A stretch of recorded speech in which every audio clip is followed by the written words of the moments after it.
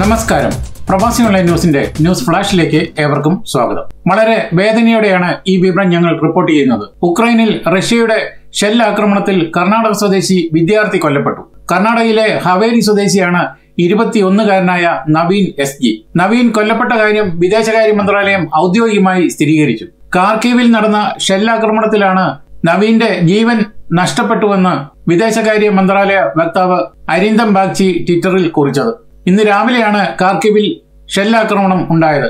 കാർക്കിവ് medical യൂണിവേഴ്സിറ്റിയിലെ നാലാം വർഷ medical ബിരുദ വിദ്യാർത്ഥിയാണ് നവീൻ. രാവിലെ സാധനങ്ങൾ വാങ്ങാനായി കടയിൽ പോയതായിരുന്നു നവീൻ. ഉക്രൈൻ സൈന്യം നിഷ്കർഷിച്ച സമയത്ത് ഭക്ഷണ സാധനങ്ങൾ വാങ്ങാനായി കടയ്ക്ക് പുറത്ത് ക്യൂ നിൽക്കുമ്പോഴാണ് ആകസ്മികമായി ആക്രമണം ഉണ്ടായത്.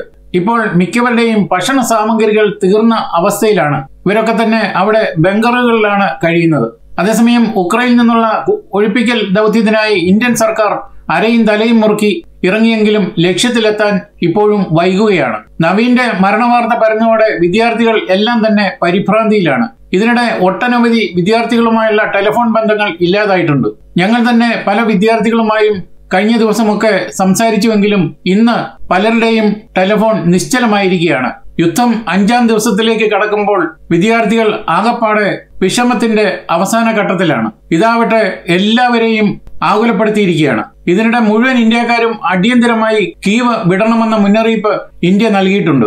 റഷ്യൻ സൈന്യം ഉക്രൈൻ തലസ്ഥാനം ലക്ഷ്യമാക്കി സേനാവിന്യാസം ശക്തമാക്കിയ പശ്ചാത്തലത്തിലാണ് എംബസിയുടെ നിർദ്ദേശം. ഇവിടെ പൊരിഞ്ഞ യുദ്ധത്തിലേക്ക് നീങ്ങുന്നതായി യൂറോപ്യൻ മാധ്യമങ്ങളും റിപ്പോർട്ട് ചെയ്തിട്ടുണ്ട്. വിദ്യാർത്ഥികൾ ഉൾപ്പെടെ എല്ലാ ഇന്ത്യക്കാരും ഇന്ന് തന്നെ കീവ് വിടണമെന്നാണ് ഇന്ത്യൻ എംബസിയുടെ മുന്നറിയിപ്പ്. ലഭ്യമായ ട്രെയിനുകളോ മറ്റ് യാത്രാ മാർഗങ്ങളോ ഉപയോഗിച്ച് നഗരത്തിന് പുറത്തെത്തണമെന്നും ഉക്രൈനിലെ ഇന്ത്യൻ എംബസി നിർദ്ദേശം നൽകി കഴിഞ്ഞു. യുദ്ധകലുഷിതമായ ഉക്രൈനിൽ കുടുങ്ങിയ ഇന്ത്യക്കാരെ നാട്ടിലെത്തിക്കാനുള്ള നടപടി കേന്ദ്ര സർക്കാർ ശക്തമാക്കി. ഓപ്പറേഷൻ ഗംഗയുടെ ഭാഗമായി ഒൻപതാം വിമാനം ഇന്ത്യയിലേക്ക് പുറപ്പെട്ടിട്ടുണ്ട്. റുമേനിയൻ തലസ്ഥാനമായ ബുക്കാറസ്റ്റിൽ നിന്നാണ് ഈ വിമാനം പുറപ്പെട്ടത്. ഇന്ത്യൻ വ്യോമസേനയുടെ ട്രാൻസ്പോർട്ട് വിമാനങ്ങൾ ഉപയോഗപ്പെടുത്തി ഉക്രൈൻ ഒഴിപ്പിക്കൽ നടപടി അതിവേഗത്തിൽ പൂർത്തിയാക്കാനാണ് കേന്ദ്ര സർക്കാരിന്റെ നീക്കം. പ്രധാനമന്ത്രി നരേന്ദ്രമോദിയുടെ നിർദ്ദേശത്തിന് പിന്നാലെ വ്യോമസേനയുടെ സി പതിനേഴ് ഗ്ലോബ് മാസ്റ്റർ വിമാനം രക്ഷാ ദൗത്യത്തിനായി സജ്ജമാക്കാനുള്ള ഊർജിത ശ്രമങ്ങൾ പുരോഗമിക്കുകയാണെന്നും ഏറ്റവും ഒടുവിലത്തെ റിപ്പോർട്ടുകൾ പറയുന്നു. അതേസമയം കർക്കീവിലെ ജനവാസ കേന്ദ്രങ്ങളിലും റഷ്യയുടെ ഷെല്ലാക്രമണം തുടരുകയാണ്.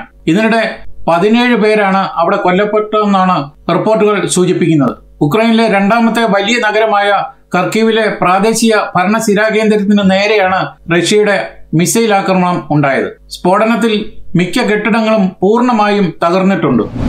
ഇതോടെ ഈ ഫ്ലാഷ് ബുള്ളറ്റിൻ ഇവിടെ പൂർണമാവുകയാണ്. നിങ്ങളുടെ എല്ലാവിധ സപ്പോർട്ടിനും നന്ദി നമസ്കാരം.